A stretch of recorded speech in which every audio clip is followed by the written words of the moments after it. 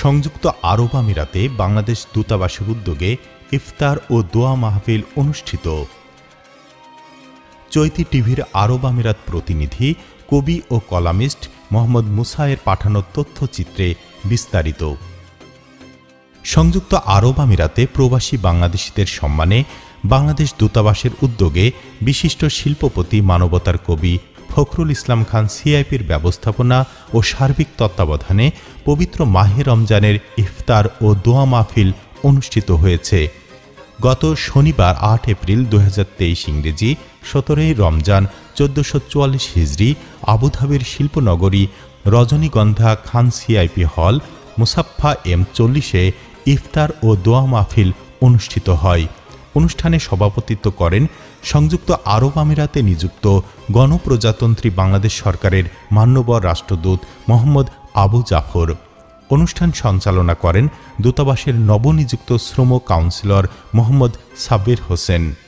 অনুষ্ঠানে উপস্থিত ছিলেন দূতাবাসের মিশন প্রধান মোহাম্মদ মিজানুর রহমান, কমার্শিয়াল কাউন্সিলর কামরুল হাসান, প্রথম সচিব মোহাম্মদ সাইফুল ইসলাম, দূতাবাস কাউন্সিলর লুৎফুন নাহার এবং সকল কর্মকর্তা কর্মচারীবৃন্দ বাংলাদেশ প্রবাসী কল্যাণ সংস্থা, কেন্দ্রীয় কমিটির প্রতিষ্ঠাতা সভাপতি ও জাতীয় কবিতা মঞ্চ আরব আমিরাত, কেন্দ্রীয় কমিটির প্রধান পৃষ্ঠপোষক আল সোমায়া গ্রুপের চেয়ারম্যান, বিশিষ্ট শিল্পপতি ও মানবতার কবি ফখরুল ইসলাম খান সিআইপি সহ আমিরাতে অবস্থানরত বিভিন্ন রাজনৈতিক, সাংস্কৃতিক সংগঠনের নেতৃবৃন্দ, প্রবাসী ব্যবসায়ী, প্রবাসী চিকিৎসক, শিক্ষক ও বিভিন্ন রাজনৈতিক, সামাজিক সংগঠন নেতারা, পেশাজীবী সহ স্থানীয় প্রিন্ট, অনলাইন, ইলেকট্রনিক্স ও সোশ্যাল মিডিয়ার সংবাদকর্মীরা উপস্থিত ছিলেন।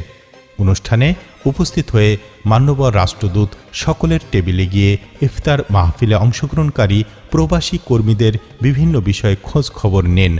সকলের সাথে মাহে রমজানের কুশল বিনিময় করেন। ইফতার পূর্ব সংক্ষিপ্ত বক্তব্য অনুষ্ঠানে রাষ্ট্রদূত মাহে রমজানের ধৈর্য আর তাকওয়ার শিক্ষা গ্রহণ করে প্রবাসে দেশের ভাবমূর্তি উজ্জ্বল করার আহ্বান জানান।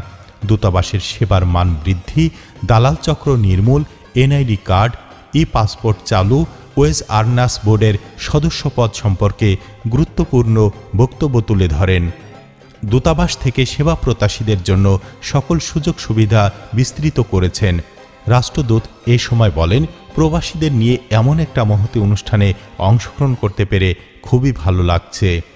প্রবাসীরা মানবর রাষ্ট্রদূতকে স্বাগত জানিয়ে তাদের বিভিন্ন সুবিধা, অসুবিধার কথা জানান এবং সেই সাথে এই মহৎ আয়োজনের জন্য দূতাবাস এবং মানবর কবি ফখরুল ইসলাম খান সিআইপির প্রতি কৃতজ্ঞতা প্রকাশ করেন। এতে অন্যান্যদের মাঝে উপস্থিত ছিলেন বাংলাদেশ সমিতি আমিরাতের সভাপতি প্রকৌশলী মোয়াজ্জেম হোসেন, বঙ্গবন্ধু পরিষদ আবুধাবের ভারপ্রাপ্ত সভাপতি ইমরাদ হোসেন, সাধারণ সম্পাদক নাসির তালুকদার, জাতীয় কবিতা মঞ্চ সংযুক্ত আরব আমিরাত, কেন্দ্রীয় কমিটির সম্মানিত সভাপতি, কবি ও কলামিস্ট মোহাম্মদ মুসা, সাধারণ সম্পাদক, কবি ও সাংবাদিক মোহাম্মদ মনির উদ্দিন মান্না, অনুষ্ঠানে আরও উপস্থিত ছিলেন ডাক্তার শেখ শামসুর রহমান পিএইচডি বিশিষ্ট ব্যবসায়ী মোহাম্মদ সরোয়ার সিআইপি আল আমিন জয়, মোহাম্মদ ইস্কান্দার, মোহাম্মদ সরোয়ার আজম, বাবু দীপক চন্দ্র দাস, মোহাম্মদ শাহজাহান, মোহাম্মদ জাফর উদ্দিন ভুইয়া, মাওলানা ইমরান হোসেন নিজামি প্রমুখ। ইফতার মাহফিলে প্রায় দুই হাজার রোজাদার মানুষের জন্য ইফতার সুবিশাল আয়োজন ছিল।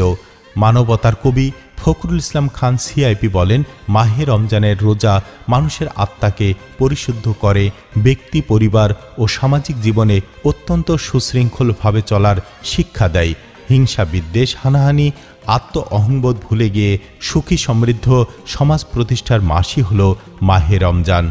মাহফিল শেষে সংযুক্ত আরব আমিরাতের প্রয়াত মহামান্য রাষ্ট্রপতি শেখ জায়েদ বিন সুলতান আল নাহিয়ানের প্রতি দোয়া, আমিরাতের সমৃদ্ধি কামনা করে দেশ, জাতি, বিশ্ব মুসলিম উম্মার শান্তি, অগ্রগতি ও উপস্থিত সকলের ইহকালীন কল্যাণ, পরকালীন মুক্তি কামনা করে মোনাজাত পরিচালনা করেন মাওলানা ইমরান হোসেন।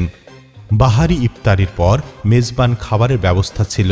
এরপর দূতাবাসের উদ্যোগে আমিরাতের প্রায় দুই হাজার রোজাদার মানুষের উপস্থিতি, মহান আল্লাহর অফুরন্ত রহমত এবং দোয়া ও ইফতার মাহফিল সমাপ্তি ঘটে।